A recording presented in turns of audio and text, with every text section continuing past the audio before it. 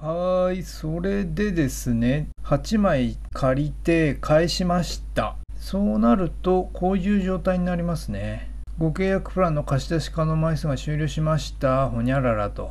このまま放っておくと、次の月からは有料になっちゃうんだよね。えー有効期限が6月10日なので、この日までに大会しなきゃいけないと。ここにレンタルサービス9回と解約って2種類あるんだよね。まずこの9回の方を見てみると、です9回申請前にご確認くださいっついろいろ宣伝が入っていて、9回手続きを続行しますかってあるんだけど、なんか全然説明がねえな、これな。9回って何ぞやっつ話がわかんねえな。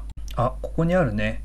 9回について教えてください。月額リストを保持したままサービスを停止する機能と、期間を指定することもできるし、指定しないこともできる休会機能とは、無期限で休会すれば、要するに実質的に大会と同じなんだけれども、もし戻ってくるときには、月額リストとか貸し出し履歴が残ってるので、便利だよと。ここになんか気になること書いてあるんだけどな。休会申請中に解約申請を行う場合は一旦休会申請を取り消してから解約手続きを行うと休会状態から直行で解約申請っていうことはできなくて1ヶ月の契約を挟んでからじゃないと解約できないんじゃないのっていう深読みしちゃうんだけど大丈夫かな？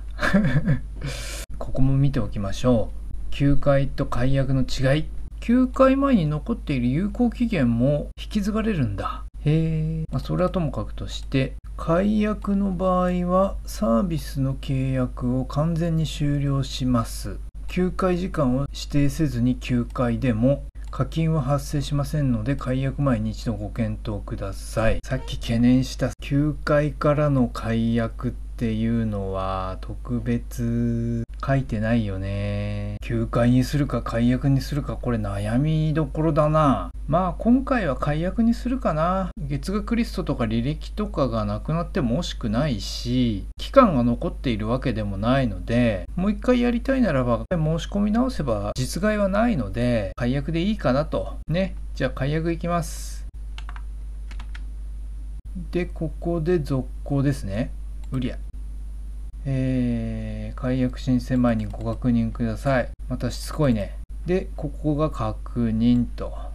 で、アンケートがあるんだ。解約する理由と。で、チェックして、まあ、ここに必要ならば何か入れて、続行すると。続行。解約しますがよろしいですか？はいと。解約手続きが完了しました。メールに詳細を送りましたと。こういうのが来てますね。解約手続き完了のお知らせと。これで完全に手続き終了ですね。非常に簡単ですね。